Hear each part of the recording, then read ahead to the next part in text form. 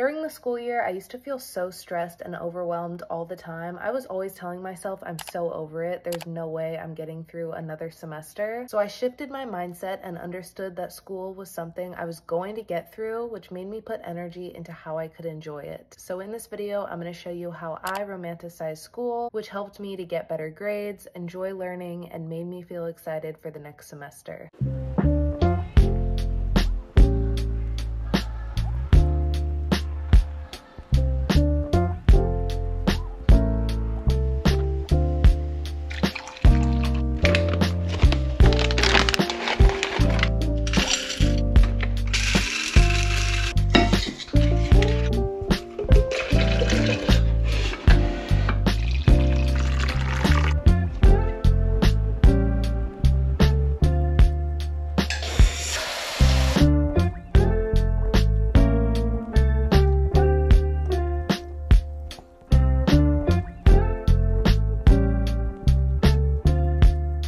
Made it a priority to get up and get ready before school. Even when I was commuting an hour to campus for my 8 a.m., I would still wake up at like 5 or 5.30 and get ready. I always just loved taking time for me in the morning and having things to do before I get to school, and I felt like my schedule didn't revolve around school. I love going to Starbucks, especially the pumpkin spice latte that just came out. It's so good during this time of year. Like it sets the vibe for my fall day. But I've been getting it recently and it's been over $8 which is so unreal. Like I remember when Starbucks drinks were like three or four dollars. So I don't know what happened there. Obviously that's not very doable every day. Plus when I'm running late, I don't have time to go through the drive through because the worst thing is you walk into campus late and you have like a Starbucks in your hand.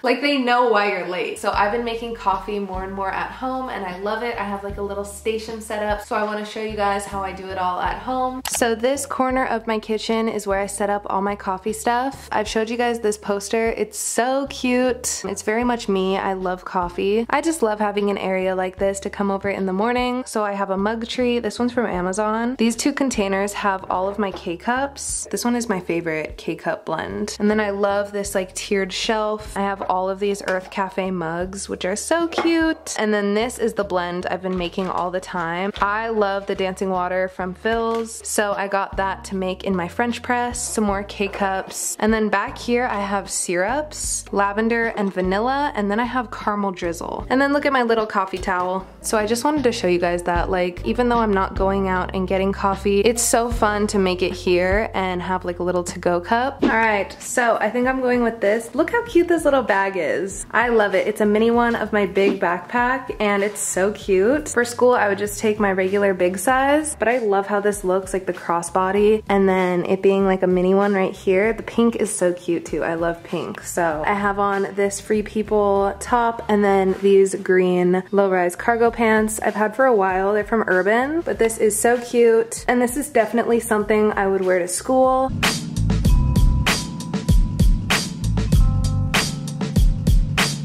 I would definitely describe my style as cute and comfy, especially when it comes to school. I want to feel confident in what I'm wearing, but I also want it to be very movable. And here are some examples of some of my favorite school outfits that I've worn, especially in college. A lot of these are lightweight and movable. These were like some of my favorite outfits because they were so cute and like I felt confident walking around campus, but I also could move around no problem and I feel cute and put together.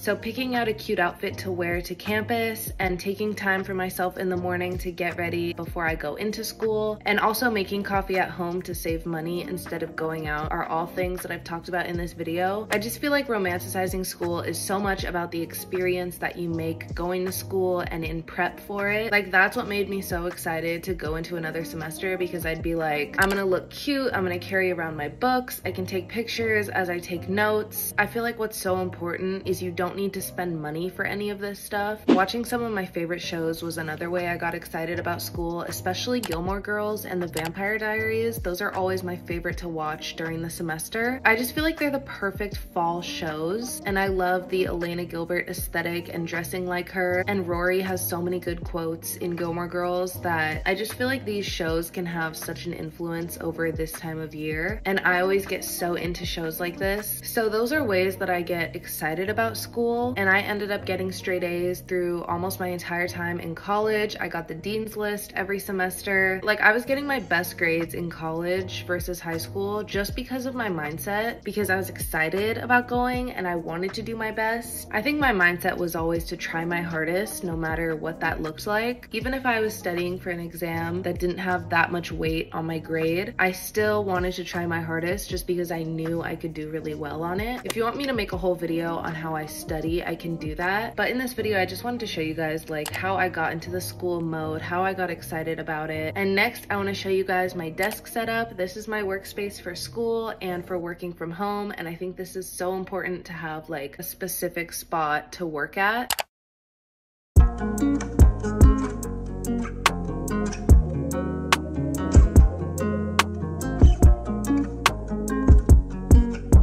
My apartment all the time and I work from home, I like to have a lot of different spots that I can work at. So my desk specifically has been a great spot to be productive at. This is what my desk looks like right now. All of the furniture here is from Ikea. I still have some art supplies underneath to put away still, um, but for the most part, everything is very organized. I feel like this setup is just so cute. I have like this little cave where I just work on stuff. So even on the walls, I think it's nice to have my own workup. Even if you aren't doing art like I am, just having your space more like school themed with calendars or post-it notes. Some of these like weekly planners are so nice to just have out. I just feel like it makes me feel very motivated when I just have materials and stuff like that out on my desk. My desk isn't perfect. It has oil paint all over it, but that just gives you the hint that I'm working hard and getting stuff done. This shelf is definitely my favorite. I love having all of my paint stuff out so it's easily accessible, but also because it looks cute and kind of sets the mood for my space. I really wanted to have like a good organized spot for all of my school supplies. So here I keep pens and I have them like pretty organized. This is all colored pens, black pens, and here is like my everyday bin. Usually when I start working, I just pull out this bin and put it on my desk so that I'm already ready to go. This drawer is markers and Sharpies and I have some of these really nice colored pencil sets. This drawer is pencils, highlighters, and drawing pencils and erasers. Like having these organized bins just makes me feel so much more productive and like ready to get stuff done. And then lastly, this drawer is all paint. I have watercolor tubes. I have a watercolor palette. This is an extra liquid for my oil paint. I have all of these like paint markers.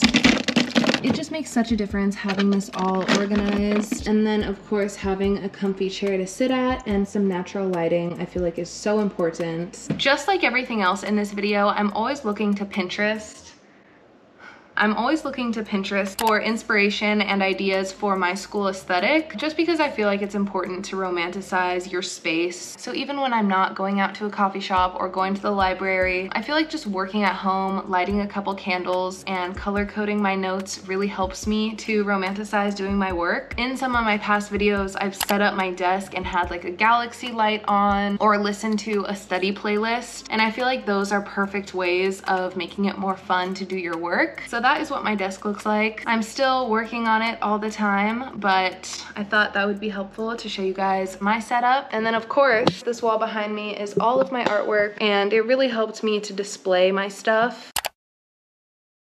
So even though 90% of the time I'm studying at home, it is nice to change it up sometimes, especially when you get far into the semester. I like changing up my workspace when I start to feel unproductive and I get out of my loop. It actually does a lot to just change the setting you're in. And if you go someplace new specifically to get stuff done, I feel like I really get on the grind. Coffee shops have always been one of my favorite environments to go and study in, but I also love libraries because they're so accessible and they're free. So I actually have a huge library at my university. Even seeing my classmates and other people studying helps me to be productive too. So I'll bring my headphones and all my supplies. I'll usually wear a comfy and cute outfit. And I recently got an iPad, so I've been taking notes digitally. I love using the Notability app because they have a lot of different templates that you can choose from and download and then use them yourself. So I like downloading planners so I can stay organized through my week. I've also made my own calendars and grocery lists. It's just so different from um, using pen on paper. I use this all the time, not even just for school, but just to plan or take notes.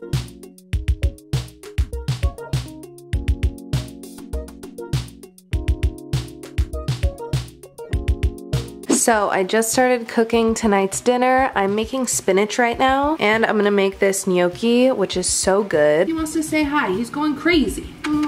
I've been scrolling on TikTok recently and I've been seeing this garlic recipe. And I don't remember what it's called, but it's basically like you take the garlic out of the shells and you put it all in olive oil and then you cook it for like two hours and it makes the garlic into like the softest like butter. So I did it. And so this is all the garlic in here and then this is the olive oil that you can save. And I've been so obsessed with this. Like I'll literally cook with it. I'll put it on pasta. I'll put it on bread. So right now I'm cooking the spinach with the olive oil and then I'm gonna take some of the cloves of garlic and put it like on the spinach. It's gonna be so good. So I just wanted to share that because I had never tried it before. And it was a lot of work, but I still have so much garlic left. So I think I'm gonna cook it like that again in like my next video. But yeah, so I'm making spinach tonight and then I have the gnocchi. I love this stuff. It's so good. I was literally looking on Postmates for like 10 minutes and I was like, yeah, I'm gonna order food. Yeah, like what should I get? This all looks so good. And every time I do that, I like think about it way too much and then I never end up ordering something. I end up like cooking something really good because I'm like, okay, if I order something, I'm gonna have to pay for the food, I'm gonna have to pay someone to go pick it up, and I'm gonna have to tip them, and they're not even gonna come to my door because the way my apartment's laid out is we have so many different like security checkpoints where I have to scan my key. So there's no way for delivery people to get all the way up to my door, so I would have to go down and meet them, and I don't want to do that. Like, that kind of takes the purpose out of not leaving your apartment to get food delivered to you, you know? So I was like, honestly,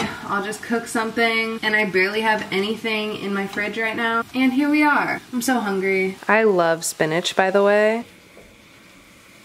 Also, look how cute these are. I just got out all of my new wooden spatulas and spoons and they're all from the office. Like, I'm obsessed. Like, look at this. How am I gonna cook with that? It's just too cute.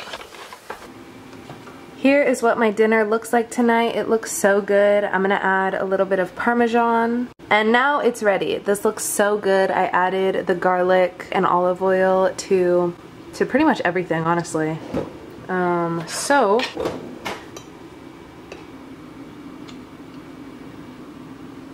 10 out of 10. I love the spinach so much. We're also gonna be opening up a bottle of wine. Um, so this one is a Moscato. Oh, it's not. It's a Gran Spumante. I don't know. It's a Grand Spumante. I don't fucking know. It's sweet with flavors of apricot and peach. This is the only white wine I have besides one more that I'm saving. So we're going with this. And look how cute. How cute is this packaging? My boyfriend's mom gave me like a bunch of bottles of wine with the cutest decoration. It says glass of 2023 Zhirelle Cushman pairs well with a bachelor's degree. I think I showed these in one of my last videos, but so, so cute. I got these for my graduation from college. Mm, cheers. Very good.